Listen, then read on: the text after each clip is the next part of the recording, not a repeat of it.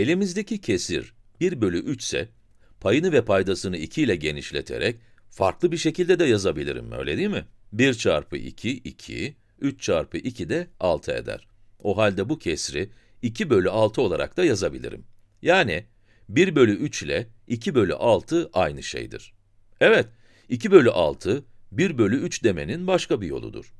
Şimdi buna göre, buradaki şekillerin hangisinin eşitliği doğru olarak gösterdiğini bulmak istiyorum. Birinci şekilde 3 eşit parça var. Parçaların hepsi 3'te 1'i gösteriyor ve bunların bir tanesini boyamışlar.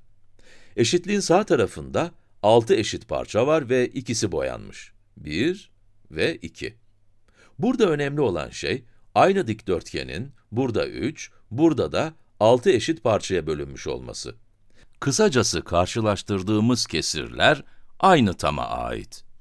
Buradaki iki pembe kutucuğu alıp üst üste koyarsak, birinci şekildeki dikdörtgeni elde ederiz. O zaman bu şekil, 1 bölü 3'ün neden 2 bölü 6'ya eşit olduğunu güzelce açıklıyor diyebilirim. Burada bir dikdörtgeni 3 eşit parçaya bölüp bu parçalardan birini alıyoruz.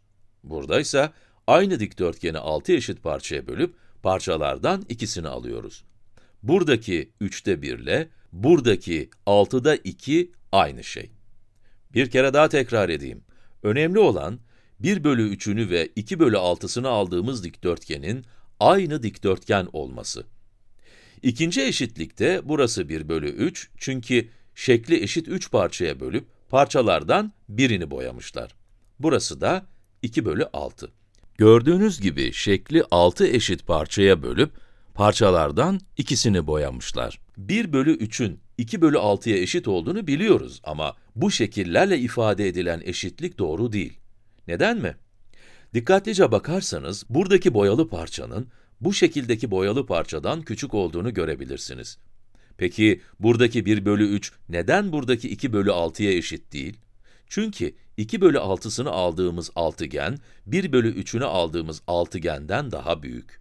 Ya da başka bir deyişle, 1 bölü 3'ünü aldığımız şekil, 2 bölü 6'sını aldığımız şekilden daha küçük. Farklı tamların kesirlerini karşılaştıramazsınız. Daha büyük bir tamın 2 bölü 6'sı, daha küçük bir tamın 1 bölü 3'ünden büyüktür. 1 bölü 3 ile 2 bölü 6'nın eşdeğer olacağı tek durum, tamlarının aynı olduğu durumdur. Aynen burada gördüğümüz gibi. O halde bu eşitlik doğru değil. Az önceki gibi bu şekildeki kesir 1 bölü 3, bundaki de 2 bölü 6. Ama 1 bölü 3'ü alınan daire, 2 bölü 6'sı alınan daireden çok daha küçük. Onun için bu da doğru değil.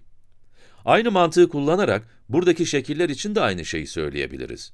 Hatta burada 1 bölü 3 ve 2 bölü 6 yerine, bir bakalım, bu şekli 1, 2, 3, 4, 5, 6, 7, 8 parçaya bölüp, 1, 2, 3, 4, 5, 6 tanesini boyamışlar. Burada ise şekil 4'e bölünmüş ve 3 parçası boyanmış. Evet, 6 bölü 8, 3 bölü 4'e eşittir. 6'yı 2'ye bölerseniz 3, 8'i de 2'ye bölerseniz 4 elde edersiniz. Bir kesrin payını ve paydasını aynı sayıya böldüğünüzde ya da aynı sayıyla çarptığınızda elde ettiğiniz kesir eşdeğer bir kesirdir. Evet, 6 bölü 8, 3 bölü 4'e eşittir ama bu şekilde değil. Çünkü buradaki şekiller birbirinden farklı. Bunun için de eşitlik yine doğru değil. Aynı şey bunlar için de geçerli. Dairelerin boyutları farklı ve farklı tamların eşdeğer kesirleri birbirine eşit değildir. Sonuncusunda ise tamlar aynı. Şekil biraz garip bir şekil ama iki tarafta da aynı. Burada şekli 8 eşit parçaya bölmüşler ve 6 tanesini boyamışlar. Burada ise 4'e bölmüşüz ve 3 tanesini boyamışız. Evet, 3 tanesini. O halde bu eşitlik doğrudur. 6 bölü 8'in 3 bölü 4'e eşit olduğunu zaten biliyoruz ve bu şekilde bunu doğruluyor. Aynı tamın 3 bölü 4'ü ve 6 bölü 8'inden bahsediyoruz. Şu an taradığım alan. Bir saniye, başka bir renk kullanayım. Buradaki alanları eşit olarak 6 minik üçgen, burada gördüğünüz eşit alanlı 3 paralel kenarın kapladığı alanın aynısını kaplıyor. Paralel kenarlardan biri buradaki iki üçgene eşit. İşte böyle. Çevirirsek bu bunlara ve son olarak bu da buradaki üçgenlere eşit. Gördüğünüz gibi aynı tamın kesirlerinden bahsediyoruz. Aradaki tek fark, soldaki şeklin daha fazla eşit parçaya ayrılmış olması.